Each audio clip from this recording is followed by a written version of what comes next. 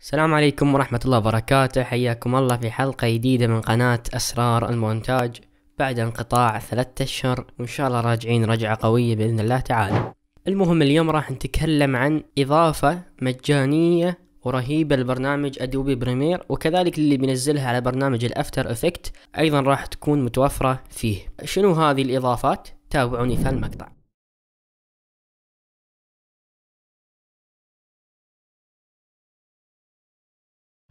طبعا الإضافات اللي بننزلها اليوم مجانية بالكامل مثل ما قلت في بداية المقطع وراح ننزلها من موقع اسمه Mister Horse ومجانية بالكامل. فيها مؤثرات صوتية فيها انتقالات احترافية فيها ال text box اللي تكتب داخل الاسم وال... والاشتراك في القناة والمواقع التواصل الاجتماعي. طبعا هي متوفرة لل Premiere وال After Effects طبعا راح تضغط هني. Learn more and download. طبعا راح يكون الرابط في ال description. طبعا التأثيرات اللي بتكون موجودة في هذه الإضافة راح نطبقها في هالمقطع كامل. راح تشوفون يمين ويسار وفوق وتحت كل شيء متغير. فراح تضغطون learn more and download وراح يكون الرابط في ال description. download for Windows وإذا عندك ماك راح تضغط download for Mac بمجرد ما أنك تضغط download for Windows راح يبدأ التنزيل وما عليك من هذه الشيء. ثم راح تدخل على الملفات وراح تضغط ضغطتين على الملف ويطلع لك yes أو no راح تضغط yes ثم تضغط install ثم تضغط finish ثم بعد ذلك بيفتح لك برنامج. وراح تختار من فوق ال Premiere Pro وإذا تبيها حق ال After Effects تضغط ال After Effects وراح تضغط update على الأول و update على الثاني وبعد ما يخلص التنزيل راح تضغط close وراح تنضاف تلقائيا على ال Premiere Pro. والحين راح ندخل على ال Premiere Pro وراح نشوفها ونطبق عليها.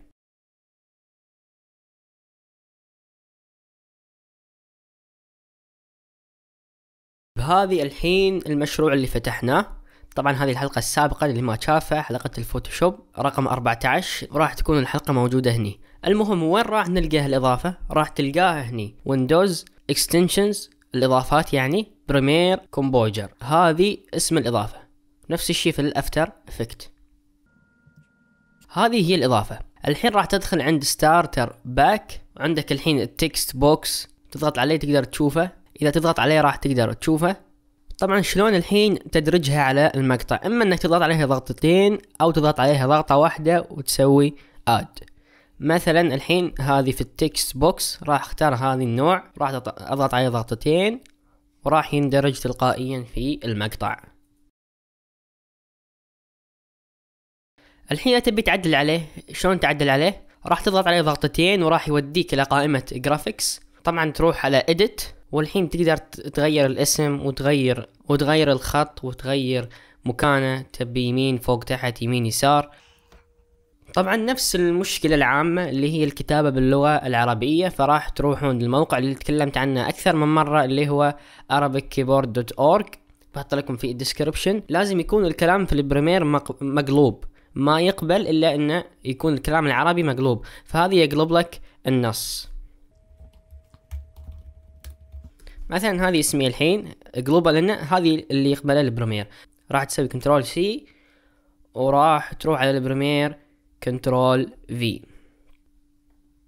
الحين اندرج سيدة راح تقدر تغير ال scale والإعدادات الثانية اللي تقدر تجربها من الشفافية وغيره الحين راح نشوف الفيديو. طبعا الحين حطيتها في النص بشكل خايس يعني بس حق حق الشرح يعني.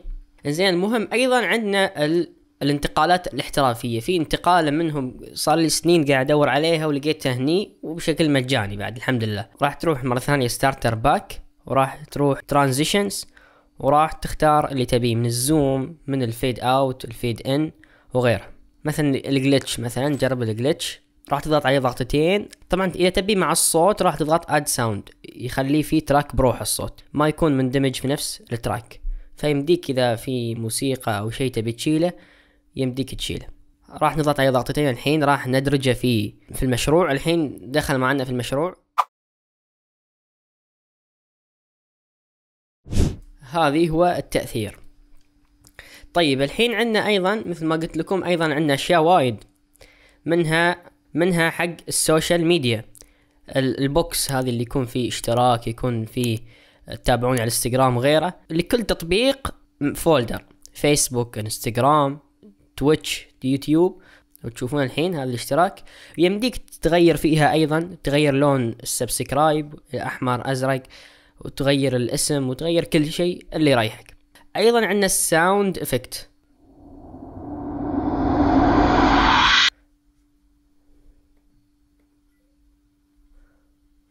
نفس الشيء يعني تضغط عليه ضغطتين أو تضغط add مثل ما قلت لكم راح يكون الصوت في track بروحه. هذه track الصوت يمديك تعدل عليه باللي تبي ترفع تنزل أي شيء. أو يمديك كذلك تشيله تضغط عليه و delete راح يكون التأثير بدون صوت. طبعا الإضافة فيها ست أشياء ال text box اللي هي مربع نص وال text preset اللي هو طريقة ظهور النص وال transitions اللي هي الانتقالات وال social media هذه اللي فيها ال follow والاشتراك وغيره وكذلك ال shape elements هذه اللي ما شرحتها في المقطع. شنو يعني shape elements؟ الأشكال التوضيحيه مثل السهم والدائرة تقدر تضيفها على المقطع. كذلك ال sound اللي هي المؤثرات الصوتية وشرحتها في المقطع. ومن هنا أيضا تقدر تغير شكل القائمة هذه من هنا وحجم الأزرار. زين الحين راح تقدر تضيفها هذه الإضافة ك panel مستقل عن قائمة window أحسن ما تروح لقائمه window والاضافات و Premiere Composer راح تسحبها كأنها panel عادي وراح تدخلها هني أو هني أو أي مكان ثاني يعجبك. وبس والله هذه كانت حلقتنا اليوم أتمنى عجبتكم.